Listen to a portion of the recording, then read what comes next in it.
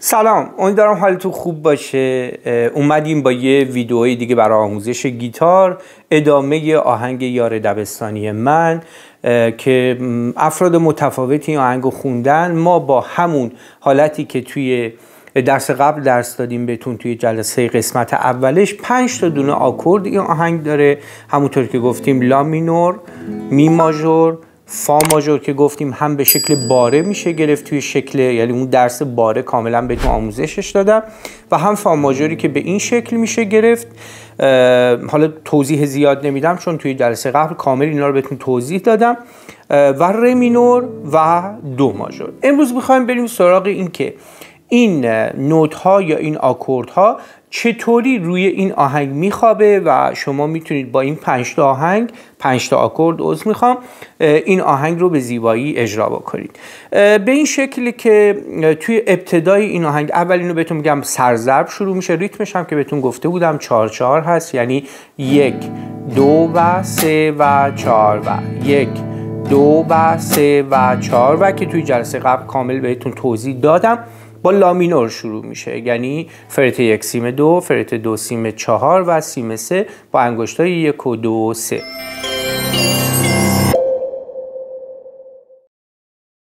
خب میریم سراغ آکورد های این آهنگ. اولش که با سرزرب شروع میشه یعنی همزمان با زدن می‌خونیم. میگیم یار دبستانی من با لامینور خود یار دبس یه چهار ضربیه یعنی میگه یار دبس. من یه ذره کشدارتر اینو می‌خونم که شما بتونید متوجه بشین. شما با در ابتدا همین شکل تمرین بکنید. آکورداتون رو خیلی آهسته دونه دونه تمرین بکنید که بتونید لامینو رو مثلا آکورد بعدیمون توی این درس می ماژور رو بتونید به هم دیگه وصل بکنید. این لامینور مثلا بیاد به می ماژور و بعد مثلا برید تو فا ماژور که گفتیم هم می‌تونید به این شکل بگیریدش هم باره که توی قسمت باره کامل براتون توضیح دادم توی ویدیو.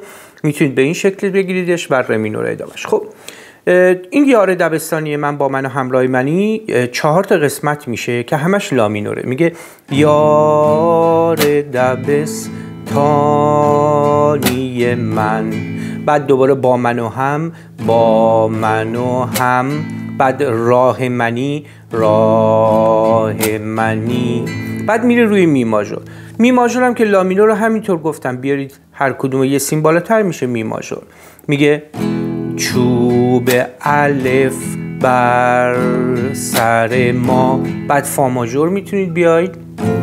بغز منو بعد رمینور آه منی. بعد دوباره همین سیکل آکوردا توی دوتا بیت بعدی دوتا مصرع بعدی که میگه حک شده اسم من و تو رو تن این تخت سیاه ترکه بیداد و ستم مونده هنوز رو تن ما اجرا میشه. میگه حک شده اسم من و تو رو تن این تخت سیاه. یعنی همش لامینوره بعد میاد رو می ماژور.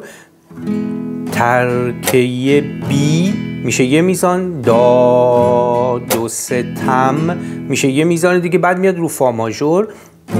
مونده هنوز که گفتم فا ماژور رو می‌تونید باره هم اینجوری بگیرید که آموزش دادم بهتون. بعد رو تن ما بعد دشت بی فرهنگی ما حرز تموم علفاش. اینجا سه تا میزانش رمینوره یه میزانش لامینور میزان ها هم که گفتم هر کدوم از این خط هایی که براتون کردم و بهش میگن یه میزان. بعد میاد رو رمینور یعنی سیم یک سیم سه سیم دو دشت بی فر. این میشه یه میزان. هنگی ما این هم میشه یه میزان.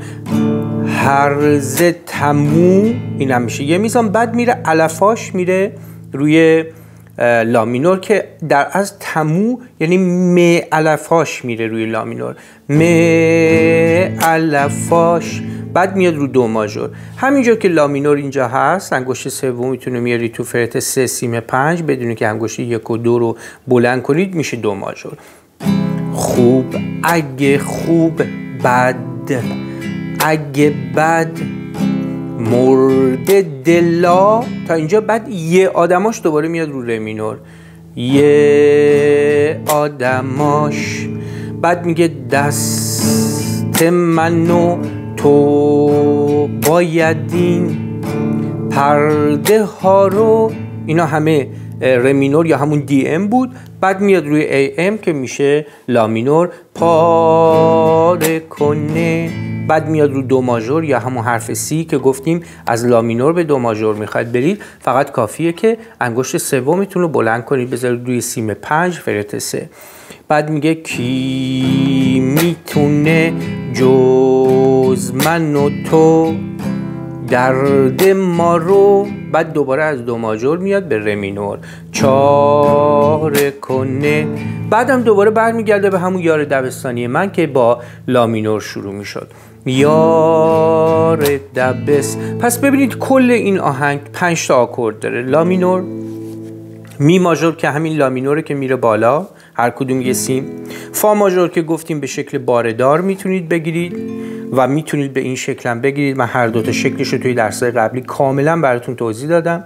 و رمینور که به این شکل سیم یک و سه و به اصطلاح دو توی فرت های یک و, سه و دو، یک و دو سه. و دو ماژور که گفتیم سیم دو سیم چهار سیم پنج هستش. و وقتی که شما از لامینور می‌خواید به دو ماژور برید فقط کافیه که انگشت سومتون رو بلند کنید بذارید توی فرت سه سیم پنجم.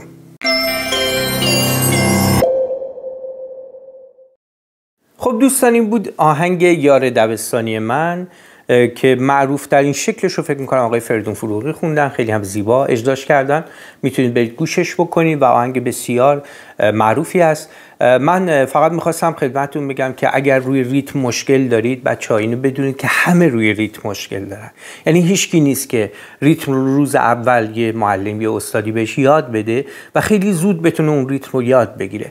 در روند زمان آروم آروم با زیاد زدن به اصطلاح اون ریتم اون ریتم هی به اصطلاح ببینید. حرفه‌ای تر میشه. هیچ کس نیست که یهو بتونه ریتم خوب بزنه. اینو مد نظر داشته باشید.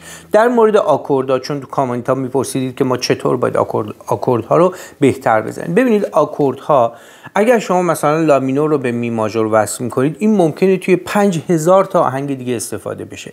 پس اگر شما روند لامینورتون به می ماژورتون مثلا OK بشه به همین نسبت می‌تونید تو آهنگای بعدی هم بهتر باشید. و اینکه کلا این مشکل می‌تونه یا بالعکس همینجوری با شما همراه باشه. اگر این دوتا رو OK نکنید. شما رو هر آکوردی که مشکل دارید برای اینکه خوب بشه باید ببینید به این شکل. آروم و با حوصله. هی از آکورد مثلا لامینور برید به می ماژور. از می ماژور بیاید به لامینور یا هر دوتا آکوردی که وصلشون رو به هم دیگه مشکل داریم. پس آکوردها و ریتم رو جداگونه تمرین بکنید خیلی با حوصله و بعد این رو بس کنید به مثلا همدیگه و ریتم رو روش بذارید. اونجوری می‌بینید که با یه حوصله خیلی کم با یه به اصطلاح وقت و تایم خیلی کوتاهی که روش گذاشتین شاید با یه هفته دو هفته تمرین کردن با حوصله نه تند زدن مشکلتون رو حل کردین. در این صورت خب یه ذره اسیرتون می‌کنه. اینم بهتون بگم گیتار زدن واقعا کار زیاد ساده ای نیست. چون معمولا ما توی اینستا یوتیوب اینا که می‌بینیم خیلی سعی می‌کنن این کار خیلی ساده جلوه کنن. من اصلا به شما اینو نمیگم که این کار بسیار ساده است. نه اصلا ساده نیست. ولی بحث اینه که شما هم مثل هر کسی دیگه که با کمی حوصله با کمی تمرین با آرامش. چون ببین شما مثلا آکورد رو میاد می‌بینید یه آدم حرفه‌ای‌تر مثلا لامینور زده رفته روی می ماژور میاد توی فا ماژور میره توی فلان آکورد. بعد شما میگی خب می‌خوام خب طبیعتا شما نمی‌تونید مثل اون آدمی که مثلا 15 ساله داره اون کارو می‌کنه شما بیاید اون کارو بکنید. ولی هیچ قانونی هم وجود نداره که شما نتونید این کارو بکنید. شما با حوصله شاید دو هفته سه هفته حوصله خرج کردن و آروم آروم با حوصله اینا رو به هم وصل کردن شما می‌تونید تا حدود زیادی به اون آدم حرفه‌ای نزدیک بشید. پس امیدوارم اینا رو با آرامش تمرین کنید موفق باشید و لطف کنید ما رو subscribe کنید. حتما این کانال رو به دوستان خودتون معرفی بکنید ویدیو رو براتون share بکنید. اینا که آموزش حالا انواع موسیقی اینا رو بخوان یاد بگیرن. امیدوارم که این درس هم بتونه بهتون کمک بکنه برای یادگیری کلا گیتار و آهنگ یار دبستانی من. موفق باشید.